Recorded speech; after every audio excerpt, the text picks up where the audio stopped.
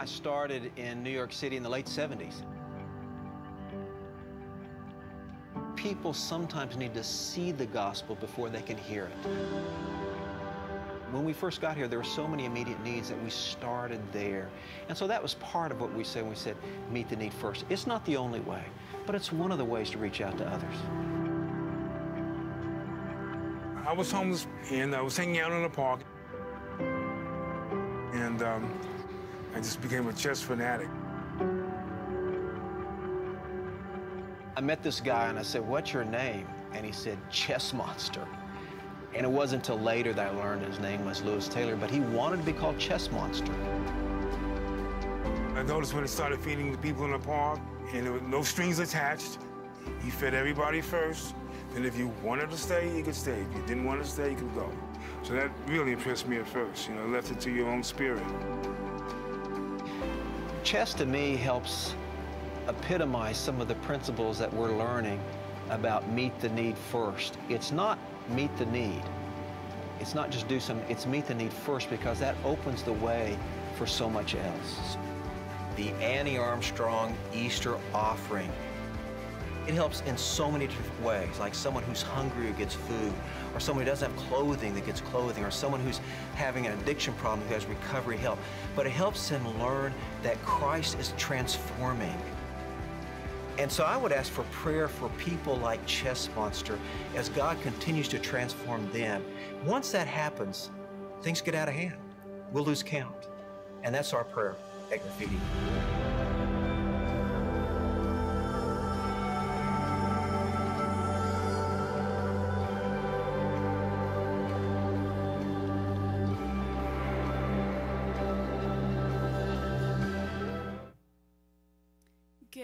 Morning. Um, I wanted to really punch Annie Armstrong hard this week. Um, next week we have our Easter musical, so I'm not going to remind you about um, Annie Armstrong next week. So listen up real quick. I do have my notes so I can say everything I wanted to say.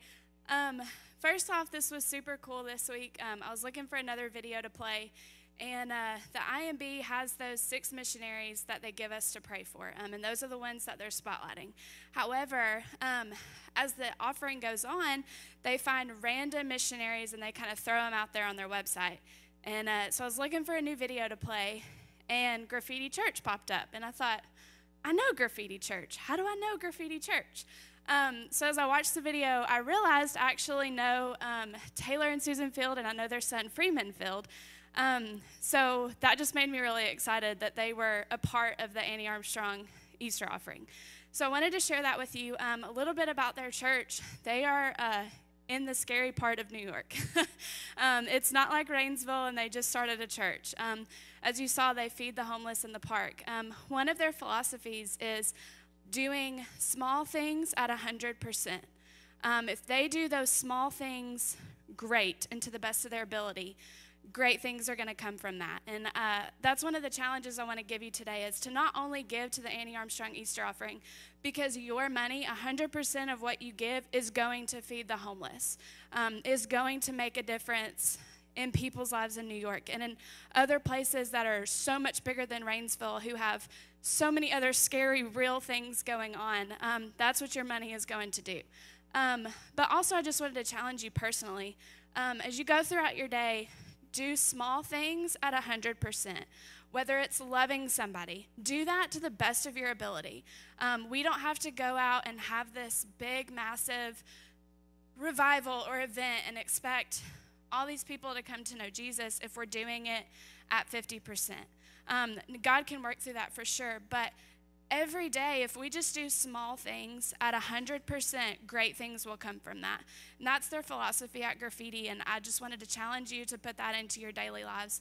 Um, we are so close to our goal of $9,000. I think we are at $7,000 and or $7,030. Um, so we're super close. We've got this week and next week, and I really want to reach that goal next week. Um, again, I'm not going to remind you next week, so go ahead and give today. Um, the offering's going to come around in a little bit. Go ahead and get your checks out. In the memo line, you can put AAEO, Annie Armstrong Easter offering. Um, so, again, I just wanted to challenge you. Thank you very much for what you've given so far, and please continue to give. Thank you, Kelsey. And before we start singing, I've got a couple of announcements that need to be made um, before we take up the offering.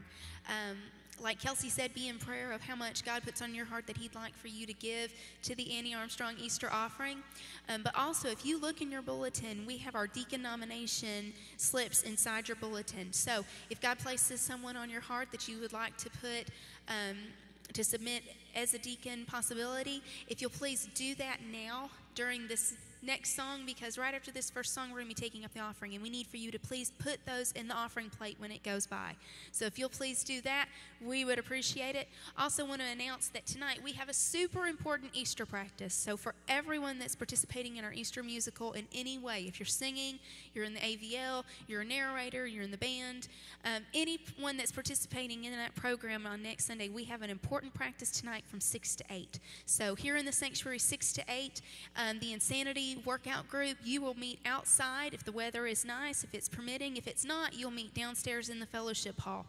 But this is my prayer for everybody that has been at the practices, and it's also my prayer for you. I pray so much this week that God will put someone in your path that you can invite to come to church on Easter Sunday with you.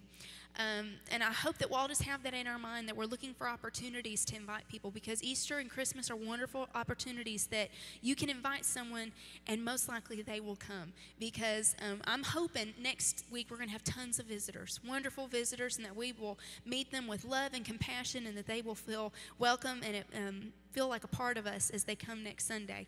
But I also have a request of you.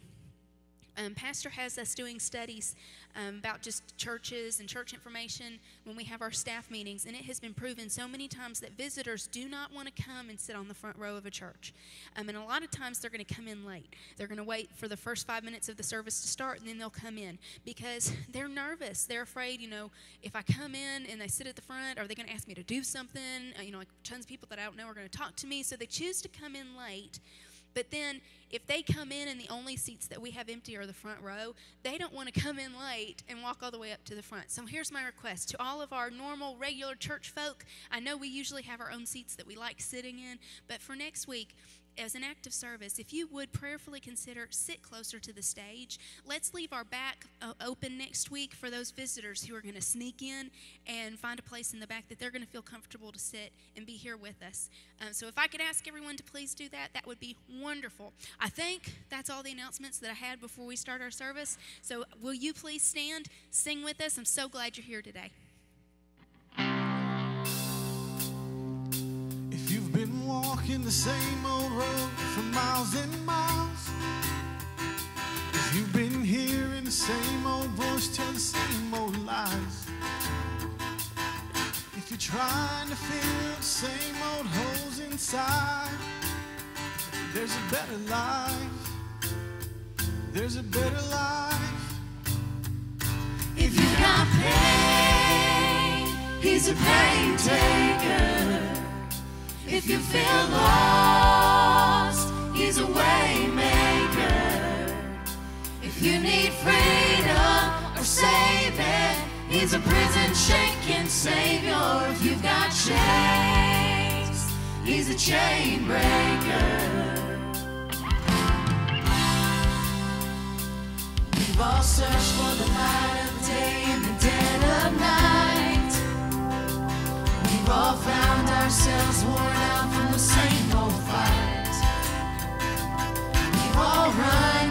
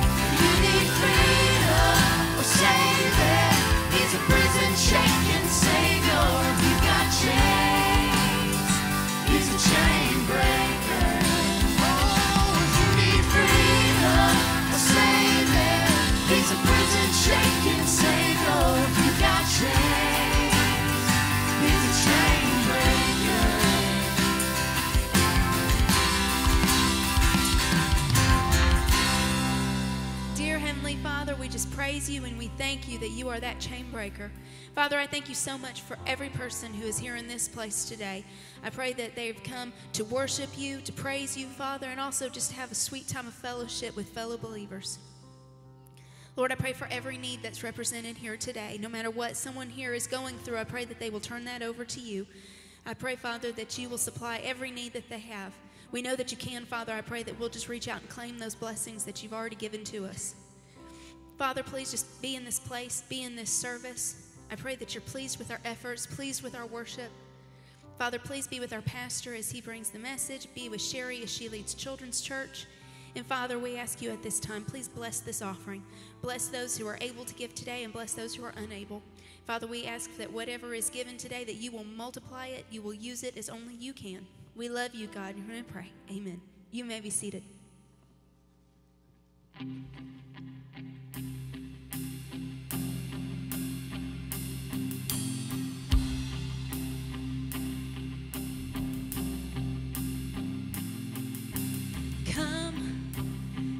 To the water.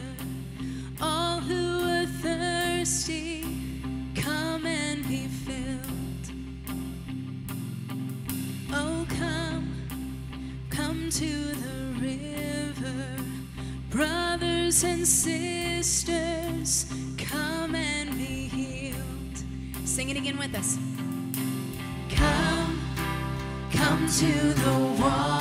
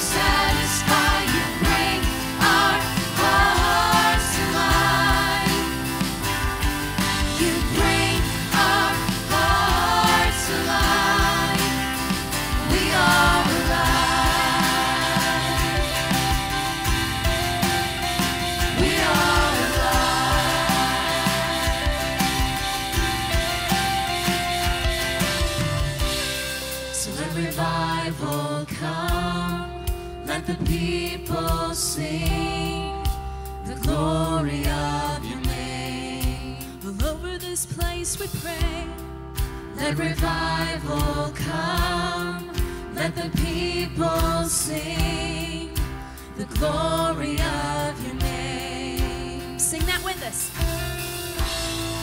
Let revival come. Let the people sing the glory of your name. For this whole world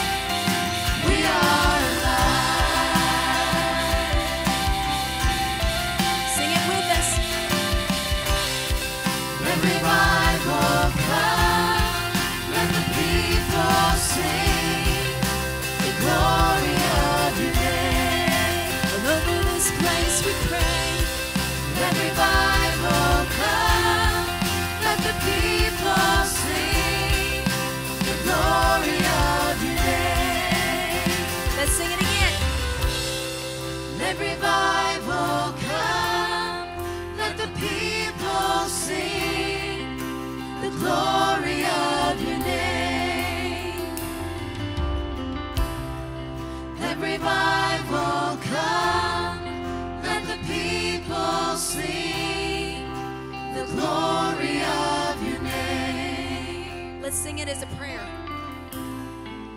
Let revival come, let the people sing the glory of your name. One more time. Let revival come, the people sing the glory of your name. Amen. We are going to have a time of fellowship. Please greet those around you.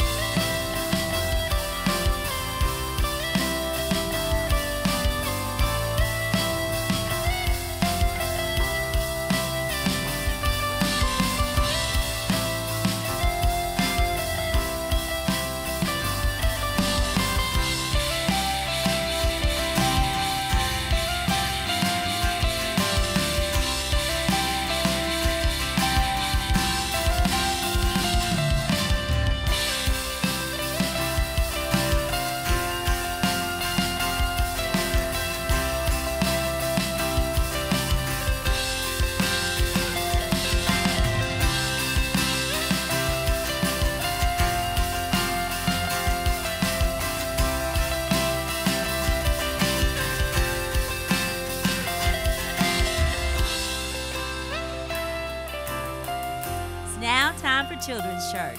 If you have a child between the ages of three and second grade and would like for them to attend, just have them meet at the middle back door.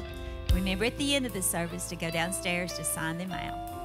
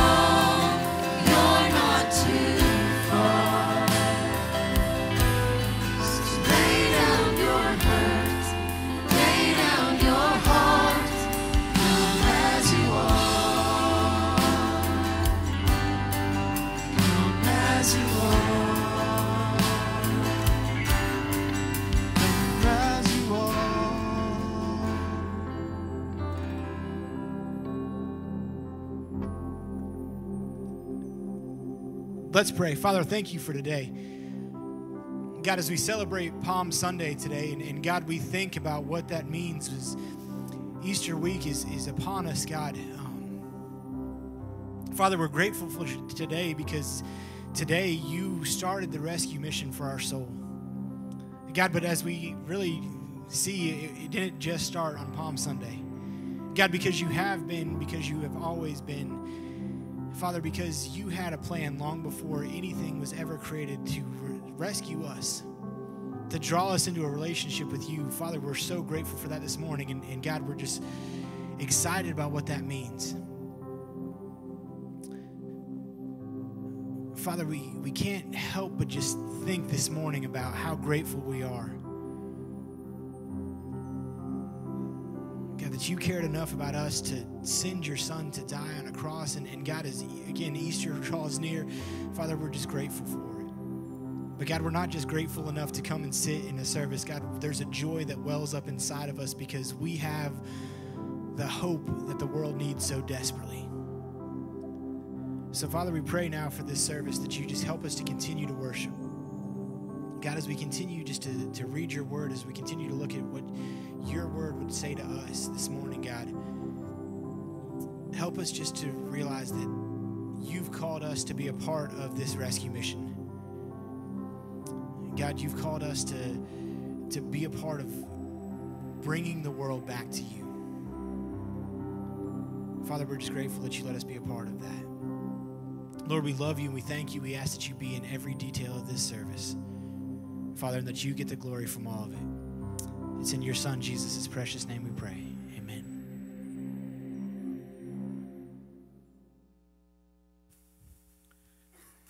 Well, good morning. Good to see each and every one of you with us this morning. If you are a guest with us today, we welcome you. We are so delighted to see each and every one of you and uh, so grateful that you are here. Inside your bulletin this morning, you'll find an insert has sermon notes on it. If uh, you have your Bible with you, let me encourage you to open to Matthew chapter 27. But keep these notes in front of you.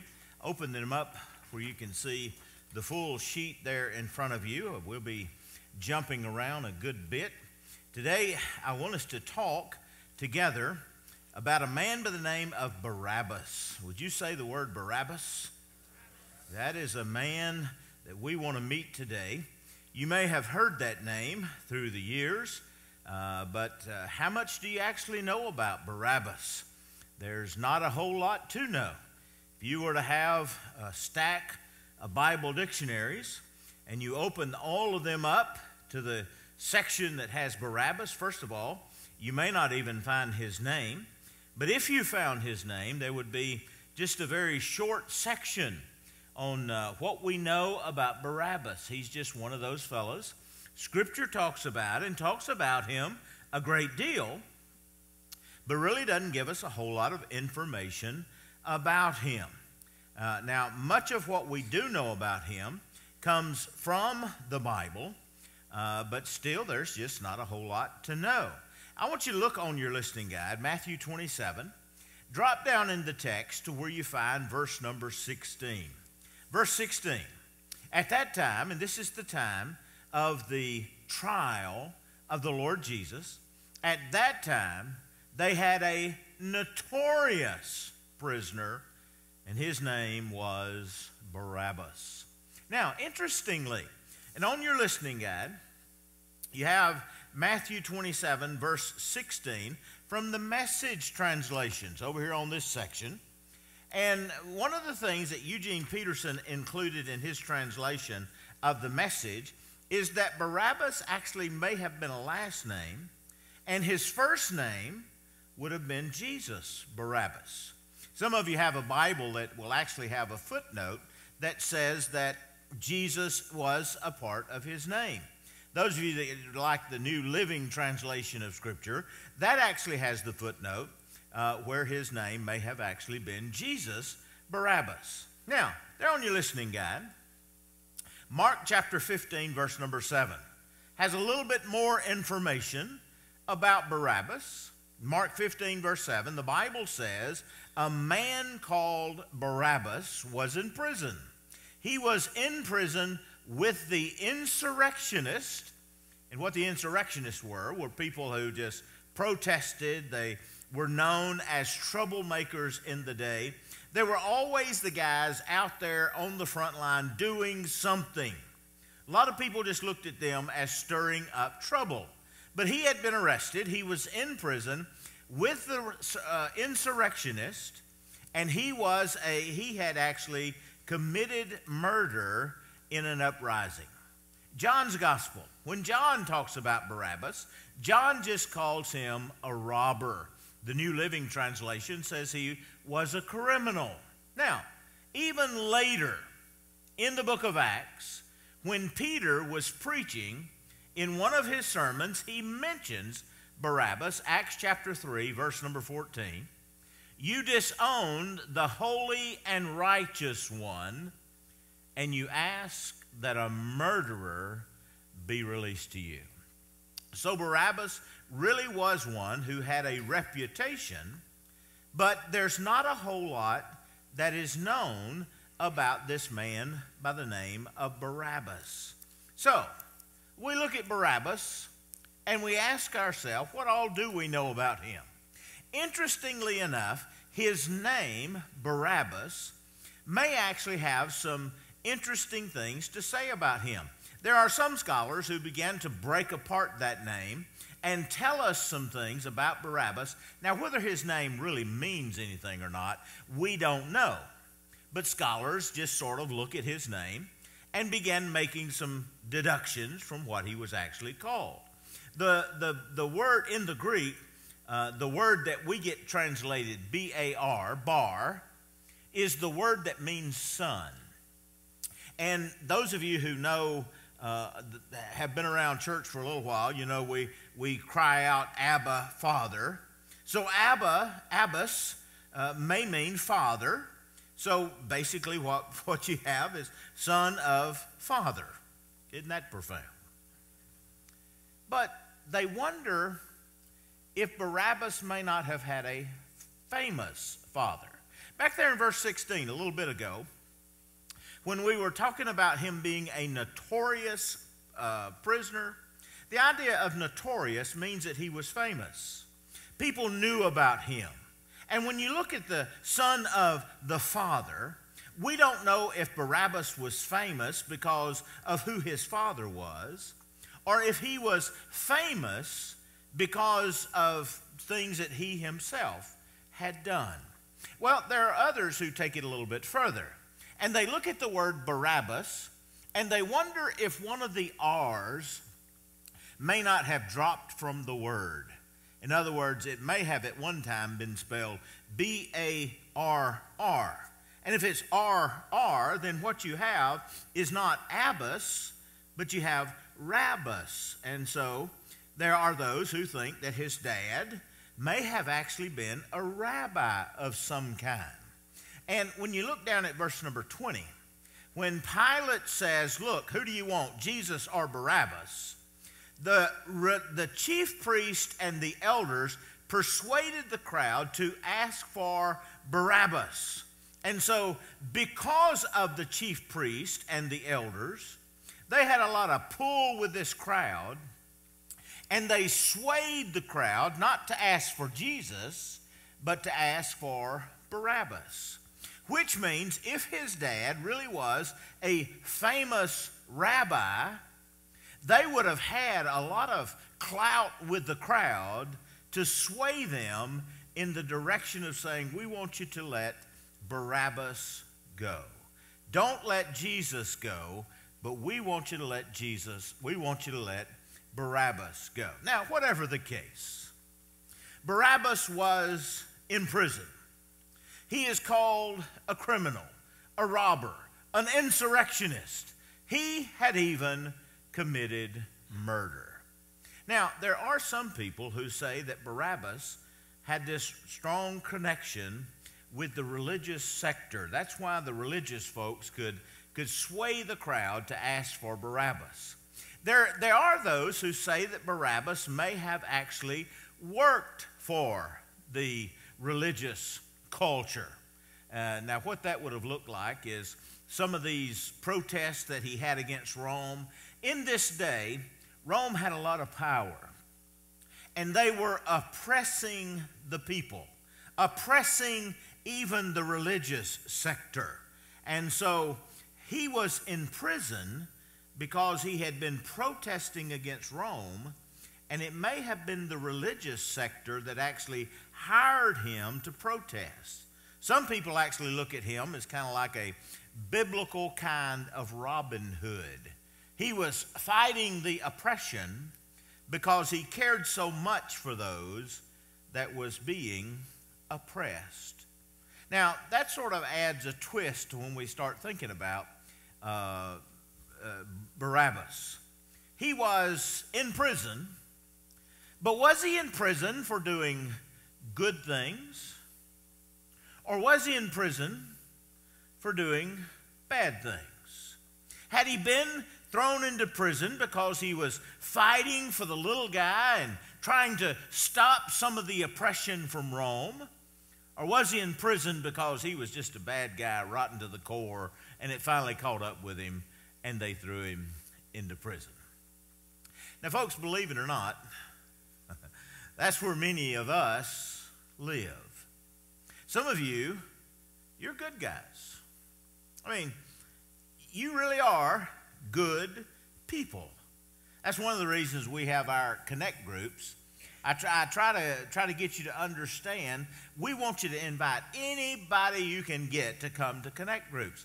We want you to have connect groups that other people will find interesting and then invite them to come together with you to get to know you. I believe in you. I really do believe if people get to know you, they'll like you. I like you. Well, most of you. But I really do believe that if people get to know you, they will like you. You're good people. But we all have this same problem. On your listening guide, a verse you probably know by heart Romans chapter 3, verse 23. All have sinned and come short of the glory of God. You are good people but you're good people that have sinned and come short of the glory of God. There are some of you here today, you've, you've never trusted Christ as your Savior and Lord. And, and we hate the word sinner.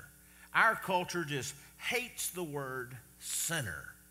A lot of people get offended. They come to church, and the first thing the preacher does is saying, You're all sinners, and they don't like that, and so they don't want to come back to church anymore.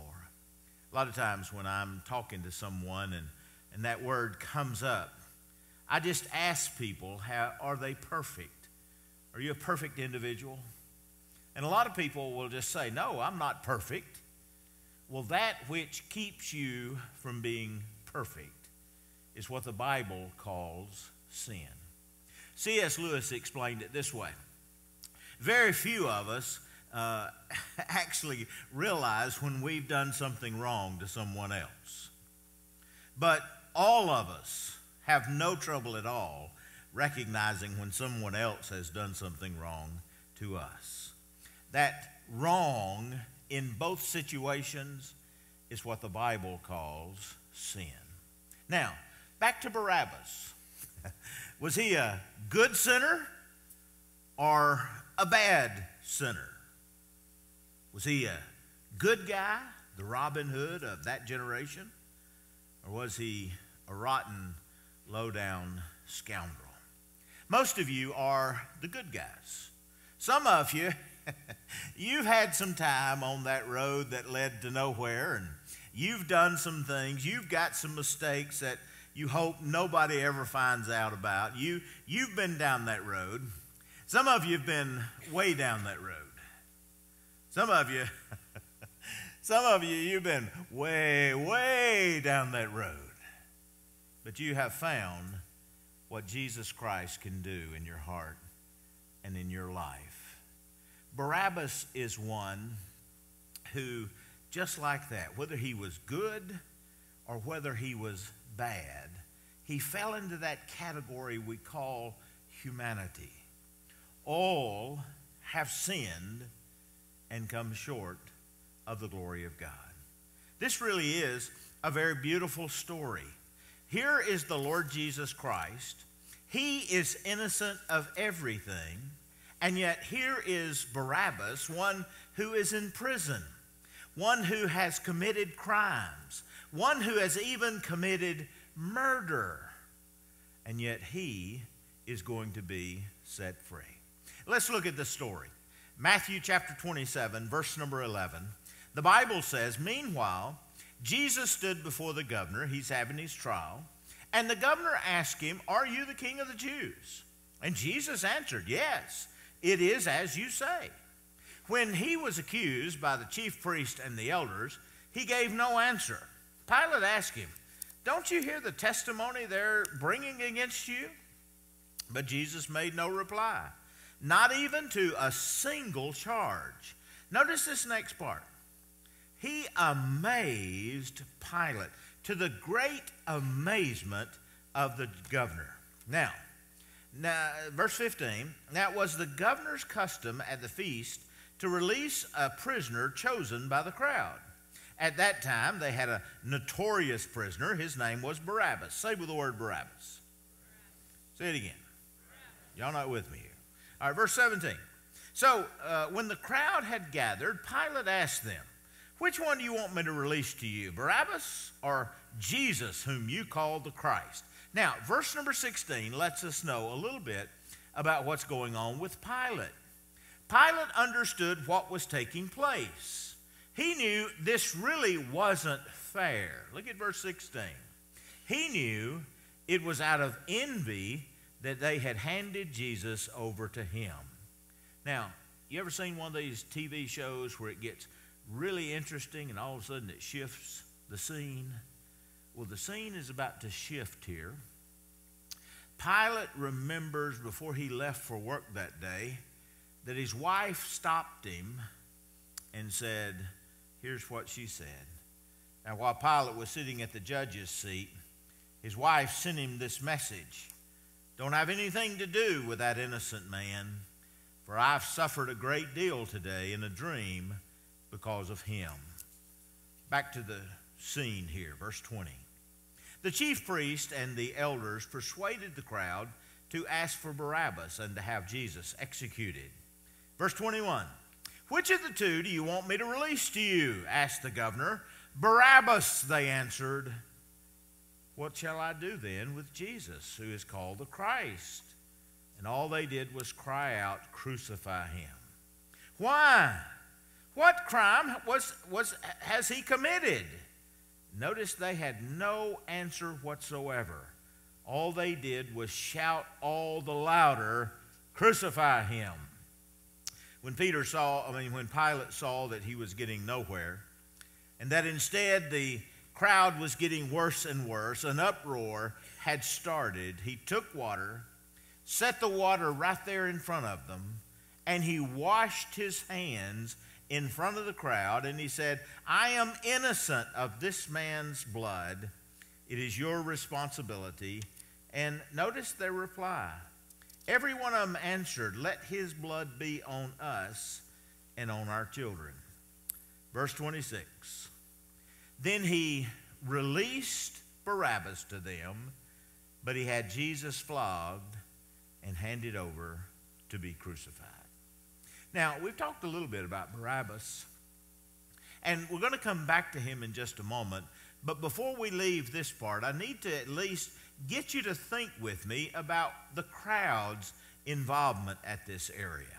You see, they didn't, uh, they, they just chose Barabbas.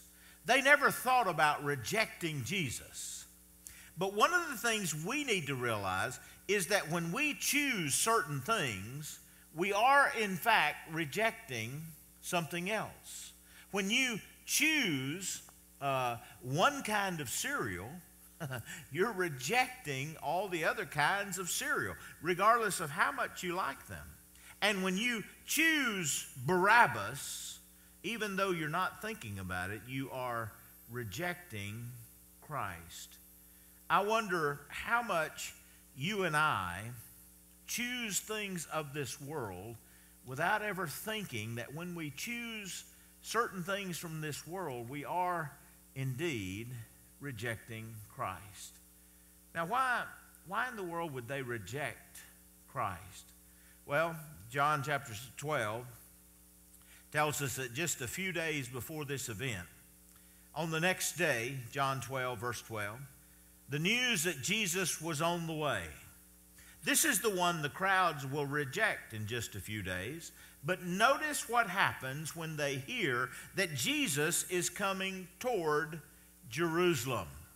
When they heard that Jesus was on his way to Jerusalem, news swept throughout the whole city. And a huge crowd of Passover vi- uh, visitors took palm branches. Now, how many of you know what today is called? Palm Sunday. This is why it's called Palm Sunday. A huge crowd of Passover visitors took palm branches and went down the road to meet him, and they were shouting, Praise God! Blessed, uh, bless the one who comes in the name of the Lord. Hail to the King of the Jews. The crowds ran out to meet him. The crowd had palm branches they were laying out in front of him. They were so excited to hear what Jesus, that Jesus was coming their way. Now, let the scene turn back. Go back up there to verse 22. What shall I do with this Jesus? The one you were praising just a few days before. What do I do with this Jesus that is called Christ? And notice the crowd. They shouted, Crucify him. Why? Pilate said. What crime has he committed? And notice they don't even try to answer that question. All they can do is shout, Crucify him, crucify him. Jesus really hadn't turned out to be what they had hoped for. When he was coming into town, they thought he had come to do one thing, but as they watched him throughout the days, suddenly their whole opinion of him changed. He was not what they had hoped for. If you, if you look there on your listening guide, look at Acts chapter 1. Even the disciples had a particular opinion about Jesus and what they had hoped he was going to do. Uh, Jesus is gathered with his disciples, uh, Acts chapter 1, verse 4. Now, don't leave Jerusalem, but wait for the gift my Father promised. In just a few days, you'll be baptized with the Holy Spirit. So, verse number six says that when they gathered together, the disciples asked him, Lord, are you at this time going to restore the kingdom to Israel? In this day, the Roman oppression was horrible. And, uh, and people hoped the Messiah would come and just break the oppression that Rome held over everyone, especially right there in Jerusalem. And as the crowd saw Jesus coming into town, they were laying down palm branches and praising everything they thought Jesus was going to do. But here he was, about to suffer and be crucified, rather than rise up an army and wipe out the oppression of the Roman government. And so the people were really kind of disappointed with what Jesus had actually come to do. Now, even the disciples are beginning to wonder. Eh, you ever noticed how fickle people can be? I mean, they're following you as long as things are going their way, but when things shift just a little bit, I mean, your name is great one day, and the next day you, you can be in all kinds of trouble. Sometimes, even those of us who love the Lord Jesus with all of our heart, man, we're all excited about Him. We're praising His name one minute, and the next minute things don't really go the way we had hoped things would go. and all of a sudden our faith begins to waver. I talked just a few weeks ago with a young Christian lady. I say young Christian lady. She had she had really kind of come to know the Lord Jesus a little bit later in her life. And she thought God was going to do all these different things in her life. And, and it was one of those situations where the bottom just really kind of fell out from under her life. And she was really facing some difficult issues. Some hard times were coming her way. And she, she was just telling me, I thought God was going to do this, and I thought God was going to do that. Was I right in trusting God? It is amazing how people can become, I mean, people can get in that situation. One day we're praising God for all we thought He was going to do. And then when the reality of life hits, our faith begins to waver just a little bit. Now, you and I, we face those same kind of things every single day. So when Pilate says, What shall I do with Jesus? I need to ask you, What are you doing with Jesus? I know you love him. I mean, you're here on Sunday and it's raining outside. You got up to come to church and probably left friends, or family at home, and here you are. You've come to worship God. But what about when life takes those unusual turns, those unusual twists? What do we do with our faith at that time? Do you continue to trust Him? Do you, do you have faith that regardless of how bad things are going to be, you're going to stick with Him? You're going to put your trust in Him. I mean, He laid down His life for me. Not only did he lay down his life for me, but he rose from the dead. You ever think about that? He rose from the dead to give me life. Folks, I don't know about you, but I'm going to stick with the guy that rose from the dead. Well, let's go back to Barabbas, a criminal, one who had committed murder. That's a pretty big crime. And yet he is going to be set free because Jesus was going to be crucified. I wonder what, he was, what his life was like a little bit later. This morning I, I mentioned that in my mind, I wonder if we made a movie about Barabbas' life, what would it look like after this day? By the way, we don't know anything about him prior to this day. We don't know anything about him after this day. So let's just use our imagination if you can. Nothing scriptural about this part. But what was Barabbas' life like after this event? Did he, did he thank the Lord that somebody had died and let him go free? Did he ever even think about somebody else being crucified while he was allowed to go free. And if he ever realized it, did he ever give thanks for what had happened on this particular day? If we made a movie about Barabbas' life, what would it look like from this point on? Use your imagination. Think through that particular part of this story. Well, let me take you back for just a moment. This is your story. It really is. We could very easily say, You are Barabbas. All the Bible says, all have sinned and come short of the glory of God. If you're here today and you've never opened your heart and received what Christ has done for you, you need to know that truth. Now, I'm not just trying to be hard on you, I'm not trying to be ugly with you, but the Bible says every single one of us have sinned and come short of the glory of God. There, there's no uh, good guys, there's no bad guys. Some of you are great people. But when it comes to this area of sin, all of us, every single one of us, have sinned and come short of the glory of God. Look there on your listening guide, if you would. Find Romans chapter 5, verse number 6. Notice what the Bible says. For when we were utterly helpless, Picture yourself in Barabbas' place. He's in prison. Good guy, bad guy, doesn't make any difference. He's in prison. You and I were in the prison bars of sin. When we were utterly helpless, Christ came at just the right time and he died for us. Imagine what it was like for Barabbas when somebody came and said, Barabbas, you're being set free today. Me? I'm being set free? It took them so long to catch me, and now they're going to set me free? You have been set free. The prison door, doors have been opened. Will you walk through? Look at verse 8.